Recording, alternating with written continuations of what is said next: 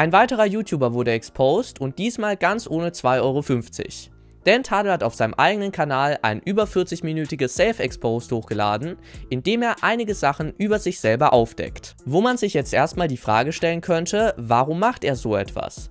Wollte er nur, dass die Wahrheit über ihn ans Licht kommt und keine Lügen mehr im Raum stehen? Oder wollte er auf der anderen Seite nur besser dastehen und versuchen, Schaden abzuwenden, weil es so besser rüberkommt, als wenn jemand anders das über ihn exposed hätte? Nun ja, zu der Frage kommen wir noch.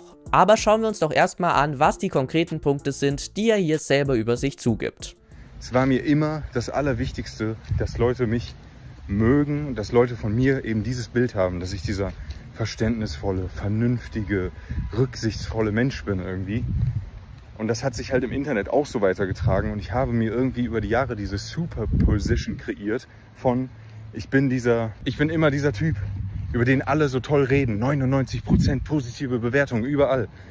Und im privaten Raum kreiere ich aber so riesige Probleme und. Und das ist halt absolut verständlich, wenn er selber sagt, dass sich sein Online-Auftritt stark von seinem realen Handeln unterscheidet. Ich versuche euch das jetzt in diesem Video irgendwie so bewusst zu machen, wie groß die Diskrepanz ist zwischen was ich versuche darzustellen öffentlich oder auch äh, in oberflächlicheren Freundschaften und wie es dann aber wirklich ist mit mir. Wenn er auf der einen Seite immer wieder hört, was für ein toller Typ er doch ist und darauf dann logischerweise auch irgendwann sein Selbstbild aufbaut, sich diese Kommentare aber nur auf seinen Online-Auftritt beziehen und er im Real Life ganz anders ist, dann kann das schon ziemlich verwirrend sein. Tadel geht gerade auch tatsächlich davon aus, eine narzisstische Persönlichkeitsstörung zu haben. Soweit ich weiß, ist das noch nicht diagnostiziert, aber er hat das in dem Statement auf jeden Fall als eine plausible Möglichkeit angesprochen. Weiter ging es dann hiermit.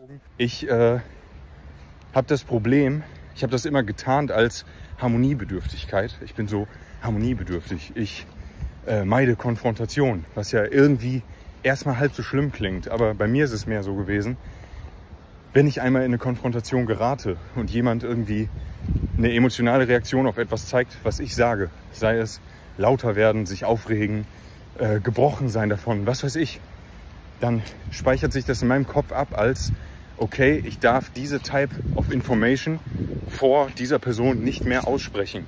Und so positiv das erstmal klingen mag, ist es tatsächlich gar nicht. Denn wer jedem Problem aus dem Weg geht, ist dauerhaft am Flüchten vor diesen Problemen und geht sie nie wirklich an. Somit schiebt man Sachen auf und macht sie letztendlich noch viel schlimmer. Und von so einer Situation erzählt Tadel auch in seinem Statement. Und was weiß ich, jetzt einmal hier vielleicht, was ich schon lange vor Jahren hätte sagen sollen, Lou und Adi sind keine Nazis, Lou und Adi sind nicht rechts, Lou und Adi sind nicht transphob, Lou und Adi sind keine Menschenfeinde, sind einfach keine schlechten Menschen. Und was die da für einen Scheiß fressen mussten online, ist so ein Bullshit. Ich habe nie was dazu gesagt, weil ich wollte ja nicht, dass ich auch noch Scheiße abbekomme. Und das ist natürlich logisch, wenn du sämtliche Konflikte vermeidest, kannst du kein eigenes Rückgrat mehr beweisen.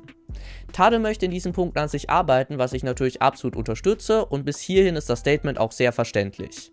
Es gab aber gleichzeitig auch Stellen, die ich nicht so nachvollziehen konnte. Auch noch ein Ding, äh, wo ich mich auch selber exposen will.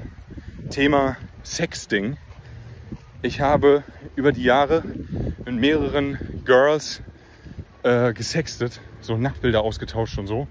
Also jetzt nicht, Girls klingt so scheiße, nicht mit äh, Minderjährigen, aber trotzdem mit jungen Frauen, 18, 19, 20 und teilweise Menschen, die ganz offensichtlich Fans waren von mir.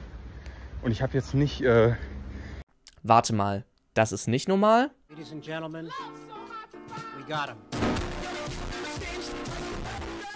Jetzt könnte man natürlich denken, dass sowas absolut nicht geht, während er in einer festen Beziehung ist und das ja schon irgendwie Betrügen ist wenn er danach nicht das hier gesagt hätte. Hier auch noch einmal, äh, bevor man das falsch versteht. Ich habe jetzt nicht in der Wochenbettzeit oder in general während der Beziehung meiner Frau irgendwie mit anderen Frauen Nacktbilder hin und her geschickt. Oder und vielleicht ist das jetzt kontrovers, aber ich verstehe den Punkt hier einfach nicht. Darf er jetzt nicht mehr mit erwachsenen, einwilligenden Leuten schreiben, nur weil diese ihn von YouTube kennen? Muss man jetzt als Influencer aufpassen, nicht zu groß zu werden, weil man sonst mit niemandem mehr schreiben darf? Oder wie soll ich mir das vorstellen? Es ist nicht so, als ob er jetzt in einer direkten Machtposition wäre, wie wenn er jetzt der Arbeitgeber wäre oder so. Und nach seinen eigenen Aussagen hat er auch niemandem falsche Versprechungen gemacht. Wie gesagt, es waren keine Minderjährigen und ich habe nicht irgendwie äh, leere Versprechungen gemacht und gesagt, ich mach dich zum Star oder ich will mit dir zusammen sein oder was weiß ich. Dementsprechend muss ich hier ganz ehrlich sagen, ich sehe hier nicht das große Problem. Die nächste Aussage jedoch war schon wieder etwas nachvollziehbarer.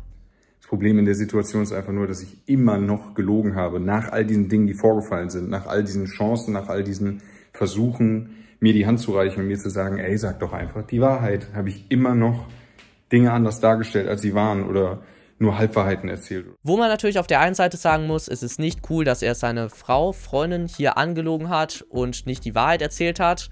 Und auf der anderen Seite finde ich schon weird, da so ausführlich drüber zu sprechen, aber das ist natürlich seine Entscheidung und ein anderes Thema. Weiterhin hat er noch davon erzählt, wie er mit seinem Verhalten sein Umfeld negativ beeinflusst. Jedenfalls, das habe ich meiner Frau auch noch angetan in der Zeit.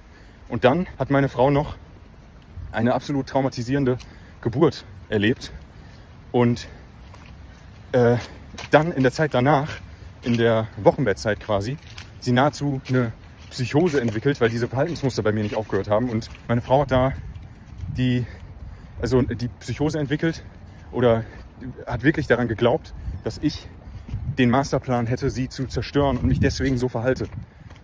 So, und das sollte euch vielleicht einmal vor Augen führen, wie, wie krass repetitive dieses Verhalten von mir ist. Würde jetzt wieder ins Bild der narzisstischen Persönlichkeitsstörung passen, was natürlich noch nicht bewiesen ist, was feststeht, ich hoffe für ihn und sein Umfeld, dass er diese negativen Verhaltensmuster bald los wird. Weiter hat er noch davon erzählt, dass er sich jetzt aus dem Internet zurückziehen möchte und auch warum er das möchte. Ich raube Seelenfrieden bei Menschen, die mir so nah sind, weil es nicht mal nur so ist, dass die Menschen dann unter meinem Verhalten und diesem Lügen und sowas leiden, sondern sie sind auch noch die ganze Zeit damit konfrontiert, dass ich im Internet so zelebriert werde. Das will ich nicht und das muss aufhören. Und deswegen ist jetzt einer der sinnvollsten Schritte für mich. Ich verpiss mich erstmal aus dem Internet. Kein YouTube mehr, kein äh, Social Media, sonst was mehr. Ich werde auch auf dem äh, Phone umsteigen, auf das man keine Apps laden kann. Taddle wird es jetzt nicht mehr geben. Ich werde diesen, diese Persona, diese Figur Taddle killen Taddle ist vorbei. Vielleicht lösche ich sogar einfach den YouTube-Account oder so, damit es so richtig, äh, damit es eine drastische äh, Maßnahme ist. Und mittlerweile hat er auch tatsächlich alle Videos von seinem Kanal runtergenommen, abgesehen von diesem Statement hier natürlich. Allgemein würde ich sagen, dass die Sachen, die da jetzt exposed wurden, nicht so krass waren. Was natürlich auch gut daran liegen kann, dass er weniger von konkreten Situationen erzählt hat, als vielmehr von seiner psychischen Gesundheit und den Mechanismen, die dahinter stecken. Für die Frage, ob jetzt wirklich eine ehrliche Intention hinter diesem Statement stand oder er nur Schaden abwenden wollte, bleibt wohl abzuwarten, ob von anderer Seite noch Vorwürfe gegen ihn geäußert werden. Falls es dazu kommt, werde ich euch da auf jeden Fall auf dem Laufenden halten, also lasst auf jeden Fall ein Abo da und aktiviert die Glocke. Schreibt mir eure Meinung zu dem Thema gerne mal in die Kommentare, folgt mir bei Instagram und wir sehen uns beim nächsten Video wieder.